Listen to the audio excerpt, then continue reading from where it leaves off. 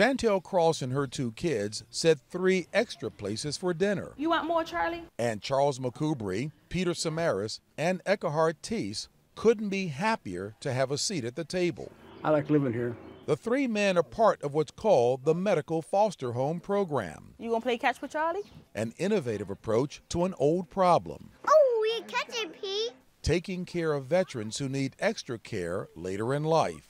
Give me what some of the advantages are of living here in a home as opposed to a nursing facility. It's it's nice here, and being in a nursing home, they just throw you away. They ignore you. But here we're like part of the family. All three men served in the military in the late 60s and early 70s. Charles in the Navy, Peter and Eckhart in the Army, which is the subject of some good natured ribbing in their home. What do you guys like about each other? Nothing. He's like a brother to me, yeah. Good job.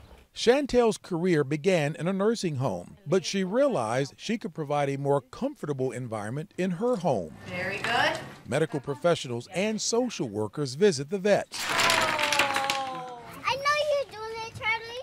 Chantel also takes them to services outside the home. The daycare center they go to is wonderful. We take the guys out to the mall, let them do some walking. Somebody might want coffee. We get them ice cream.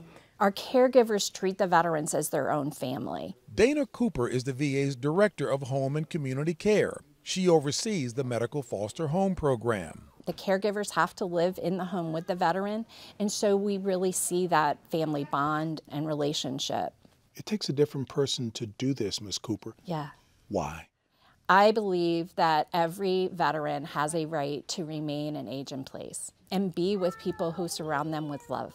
Almost half of the veteran population is 65 and over. Nursing homes can cost over $100,000 per year out of pocket. The Medical Foster Program costs vets less than half that. Caregivers receive, on average, $2,800 per month from each veteran living in their home. Chantel, what do you get out of this? A lot. It gives me a peace of mind to know that I'm able to help others and give back. I love helping others and I love giving back. The program began in 2002 in Arkansas, Florida, and Puerto Rico.